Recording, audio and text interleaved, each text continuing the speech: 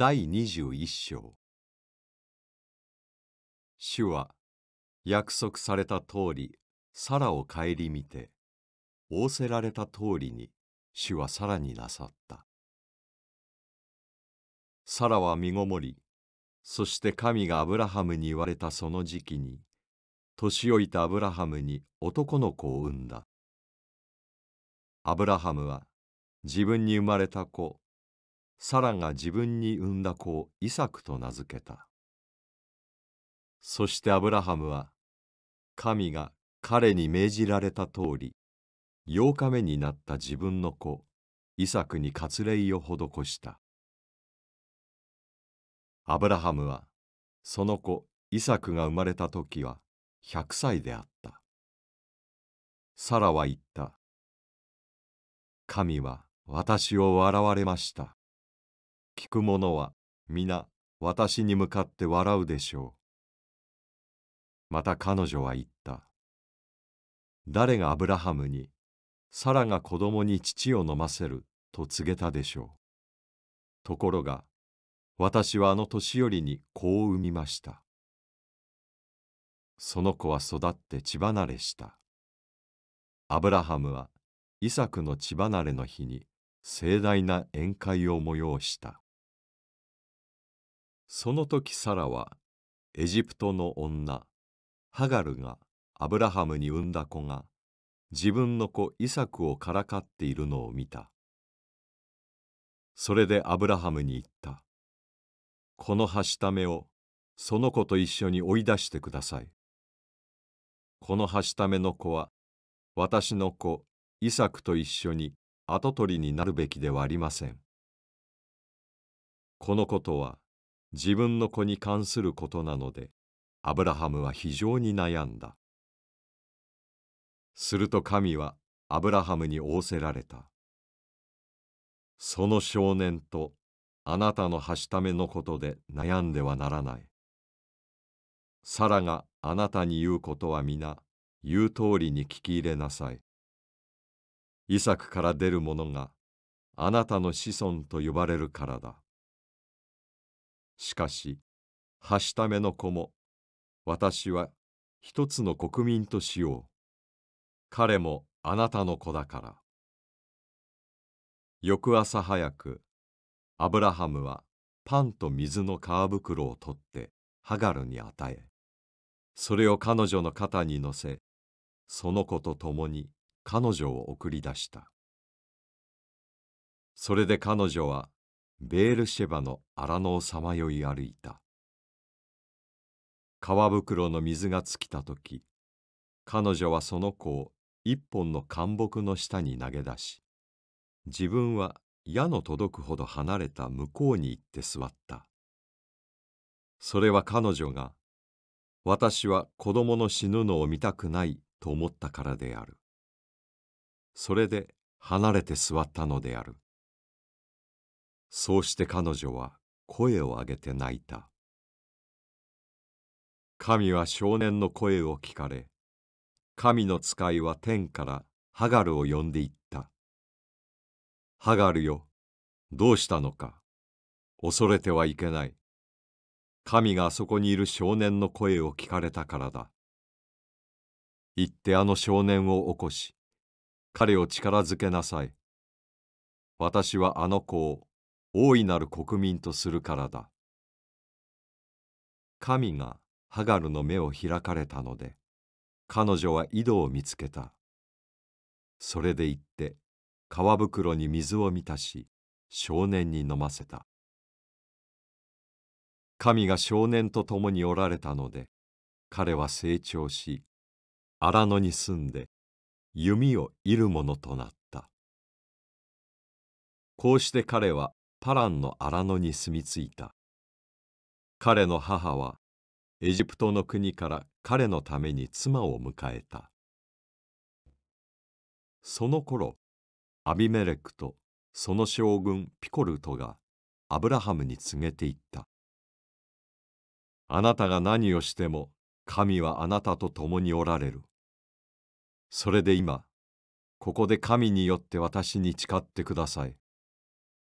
私も私の親類縁者たちをも裏切らないと。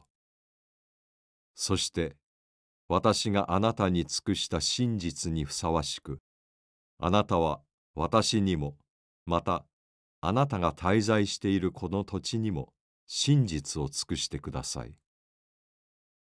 するとアブラハムは、私は誓いますと言った。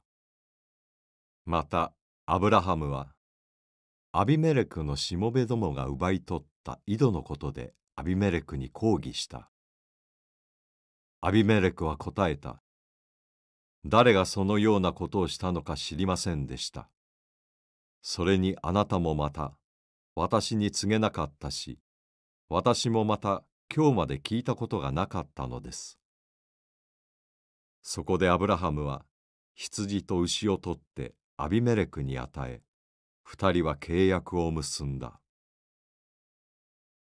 アブラハムは羊の群れから七頭のメスの子羊をより分けた。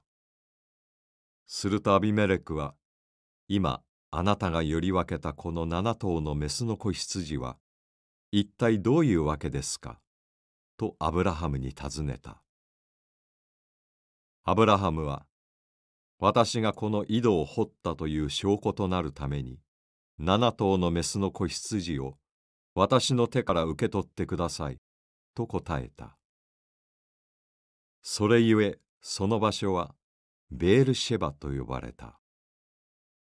そのところで彼ら二人が誓ったからである。彼らがベールシェバで契約を結んでからアビメレクとその将軍ピコルと渡ってペリシテ人の地に帰った。アブラハムはベールシェバに一本の柳の木を植えそのところで永遠の神主の皆によって祈った。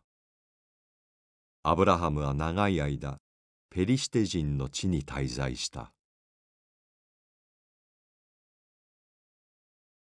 第22章これらの出来事の後神はアブラハムを試練に合わせられた神は彼に「アブラハムよ」と呼びかけられると彼は「はいここにおります」と答えた。神は仰せられた。あなたの子、あなたの愛している一人子、イサクを連れて、モリアの地に行きなさい。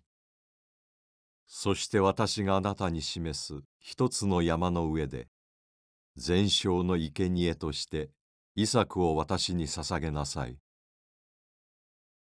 翌朝早く、アブラハムはロバに蔵をつけ二人の若い者と息子イサクとを一緒に連れて行った彼は全焼の生贄のための焚き木を割ったこうして彼は神がお告げになった場所へ出かけて行った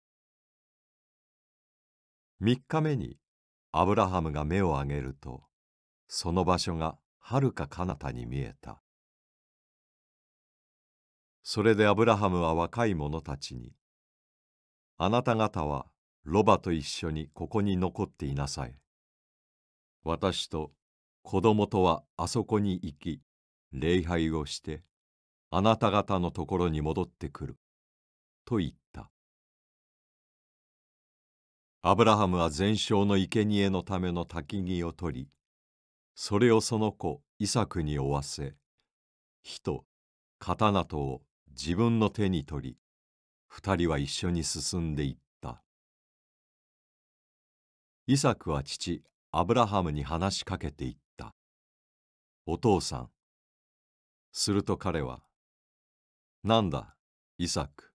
と答えたイサクは尋ねた火と焚き木はありますが全焼の生贄のための羊はどこにあるのですか？アブラハムは答えた。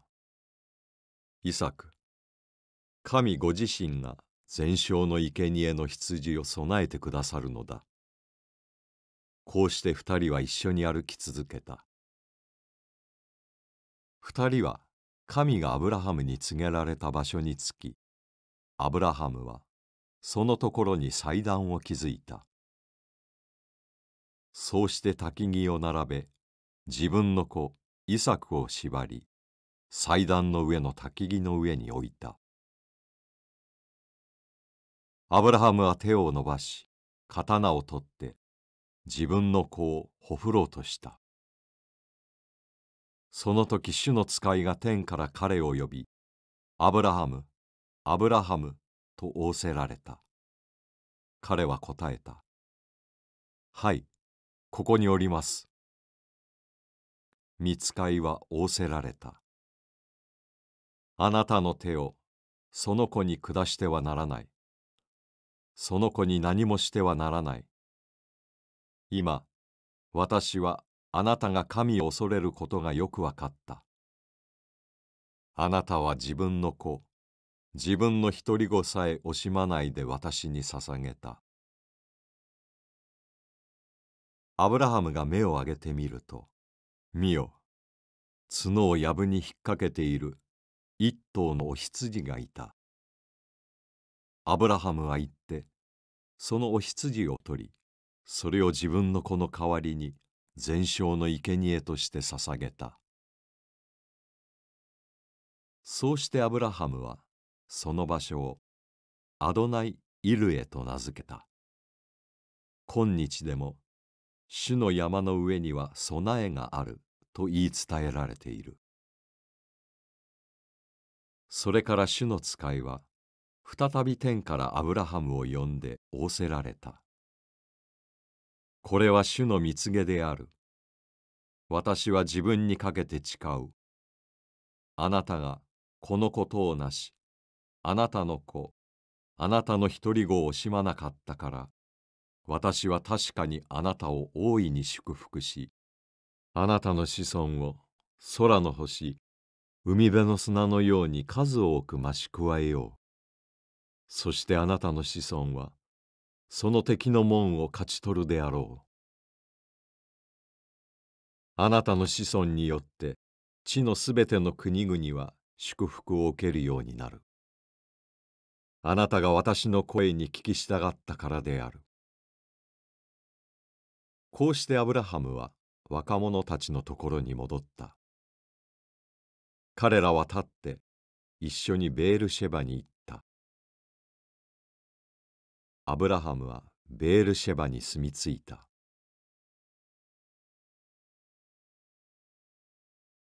第24章アブラハムは年を重ねて老人になっていた。主はあらゆる面でアブラハムを祝福しておられた。その頃、アブラハムは自分の全財産を管理している家の最年長のしもべにこう言った。あなたの手を私のももの下に入れてくれ。私はあなたに天の神、地の神である主にかけて誓わせる。私が一緒に住んでいるカナン人の娘の中から、私の息子の妻をめとってはならない。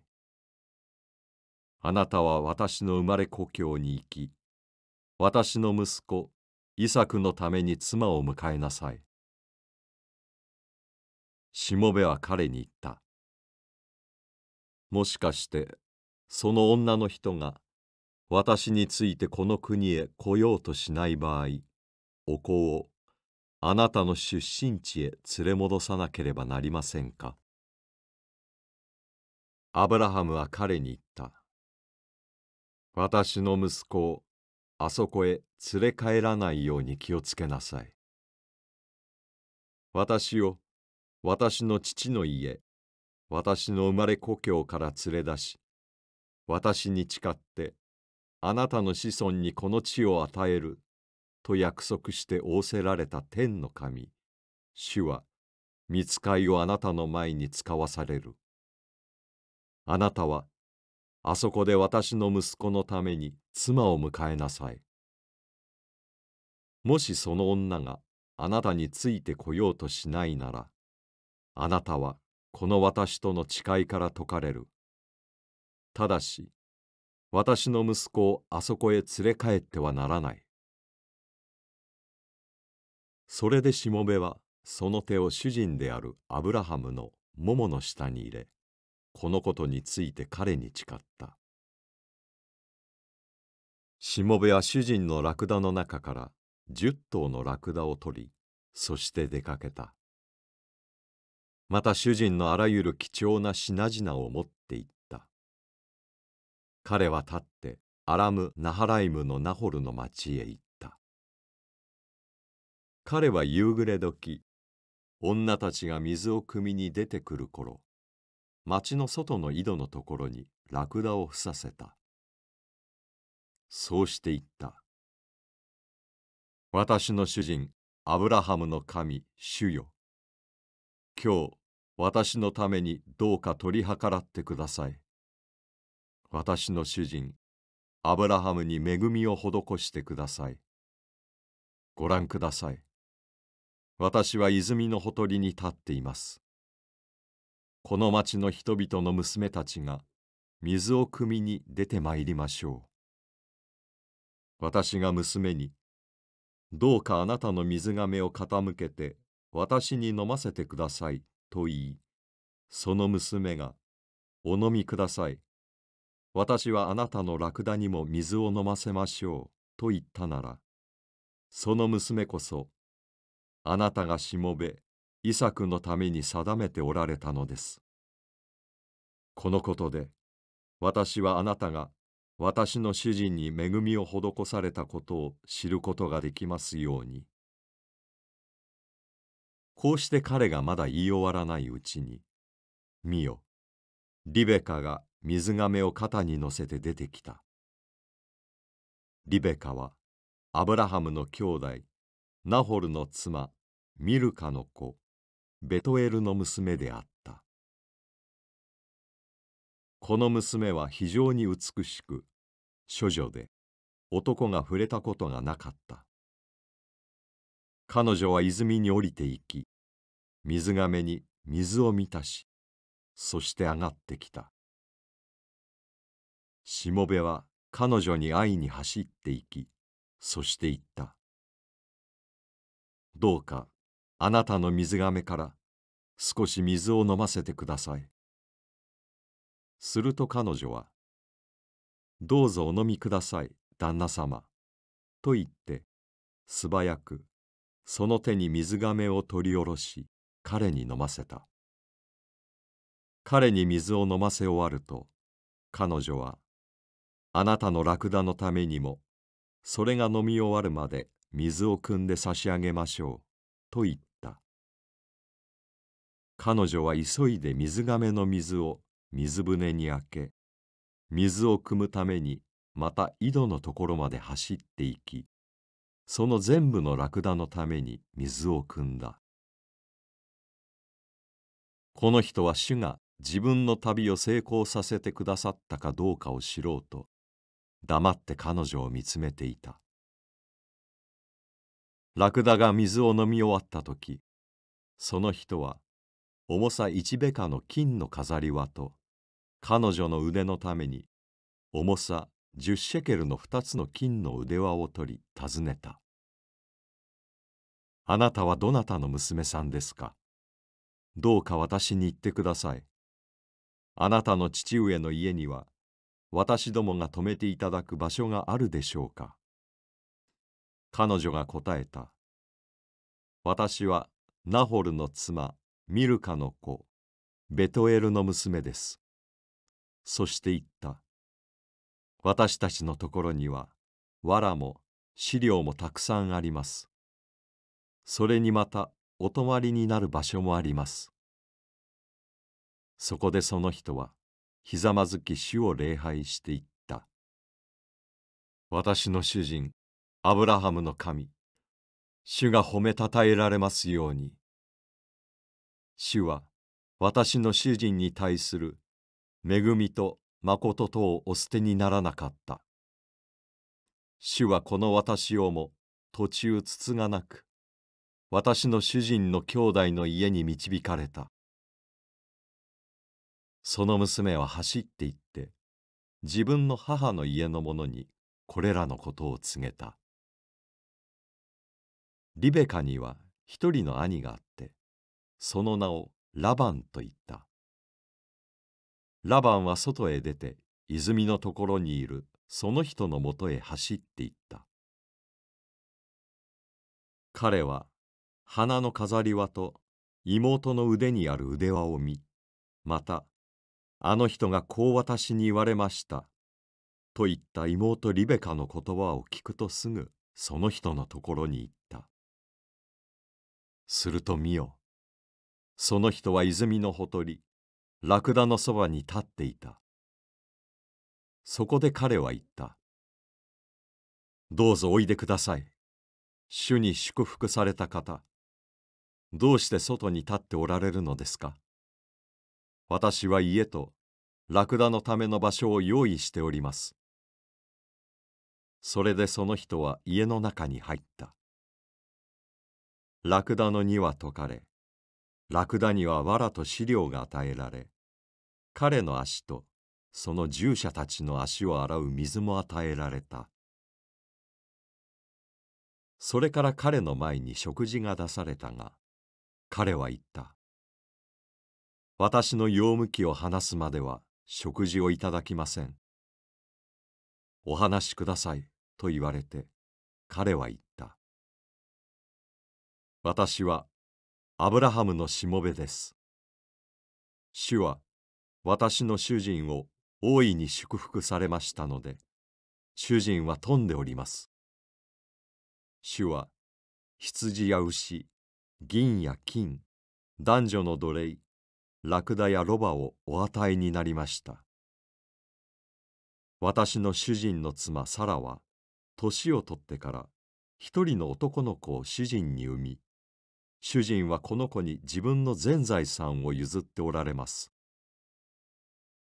私の主人は私に誓わせてこう申しました。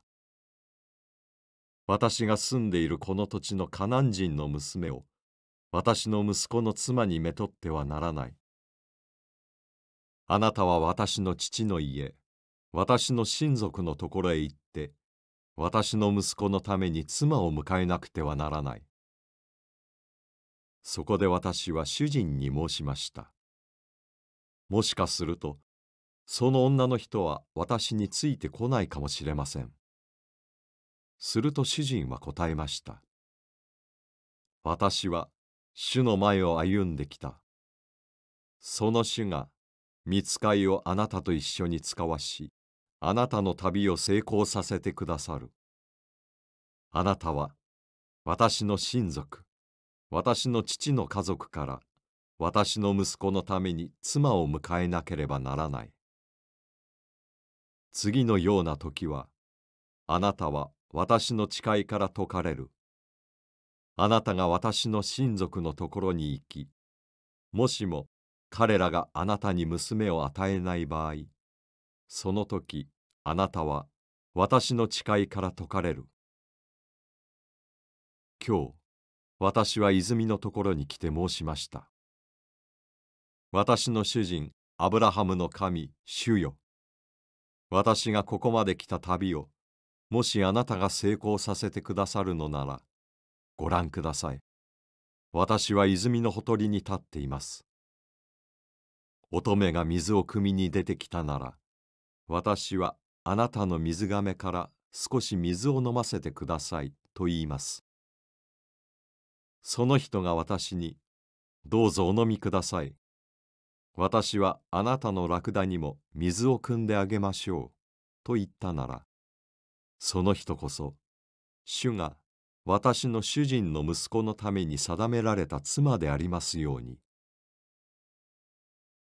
私が心の中で話し終わらないうちに、どうです？リベカさんが水がめを肩に乗せて出てきて、泉のところに降りていき、水を汲みました。それで私が、どうか水を飲ませてくださいと言うと、急いで水がめを下ろし、お飲みください。あなたのラクダにも水を飲ませましょう。と言われたので、私は飲みました。ラクダにも水を飲ませてくださいました。私が尋ねて、あなたはどなたの娘さんですか？と言いますと、ミルカがナホルに産んだ子、ベトエルの娘です。と答えられました。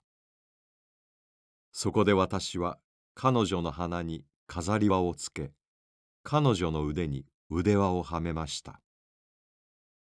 そうして私はひざまずき、主を礼拝し、私の主人、アブラハムの神、主を賛美しました。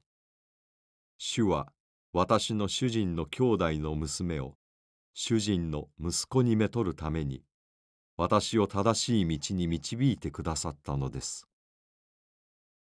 それで今、あなた方が私の主人に恵みと誠とを施してくださるのなら、私にそう言ってください。そうでなければ、そうでないと私に言ってください。それによって、私は右か左に向かうことになるでしょう。すると、ラバンとベトエルは答えていった。このことは主から出たことですから、私たちはあなたによしあしを言うことはできません。ご覧ください。リベカはあなたの前にいます。どうか連れて行ってください。主が仰せられた通り、あなたの主人のご子息の妻となりますように。アブラハムのしもべは、彼らの言葉を聞くや否や、地にひれ伏して主を礼拝した。そうしてこのしもべは、銀や金の品物や衣装を取り出してリベカに与えた。また、彼女の兄や母にも貴重な品々を送った。それから、このしもべとその従者たちとは飲み食いしてそこに泊まった。朝になって彼らが起きると、そのしもべは私の主人のところへ返してください。と言った。すると彼女の兄と母は娘をしばらく10日間ほど私たちと一緒にとどめておきそれから後行かせたいのですがと言った。しもべは彼らに私が遅れないようにしてください。主が私の旅を成功させてくださったのですから。私が主人のところへ行けるように私を帰らせてください。と言った。彼らは答えた。娘を呼び寄せて娘の言うことを聞いてみましょう。それで彼らはリベカを呼び寄せて、この人と一緒に行くかと尋ねた。すると彼女は、はい、参ります、と答えた。そこで彼らは妹リベカとその乳母をアブラハムのしもべとその従者たちと一緒に送り出した。彼らはリベカを祝福していった。我らの妹よ。あなたは幾千万にも増えるように、そしてあなたの子孫は敵の門を勝ち取るように。リベカとその次女たちは立ち上がりラクダに乗ってその人の後についていったこうしてしもべはリベカを連れて出かけた。その時イサクはベールラハイロイ地方から帰ってきていた。彼はネゲブの地に住んでいたのである。イサクは夕暮れ近く野に散歩に出かけた。彼がふと目を上げ見るとラクダが近づいてきた。リベカも目を上げイサクを見るとラクダから降りそしてしもべに尋ねた。野を歩いてこちらの方に私たちを迎えに来るあの人は誰ですか？しもべは答えた。あの方が私の主人です。そこでリベカはベールを取って身を覆った。しもべは自分がしてきたことを残らずイサクに告げた。イサクはその母サラの天幕にリベカを連れて行き、リベカをめとり、彼女は彼の妻となった。彼は彼女を愛した。イサクは母の亡き後、慰めを得た。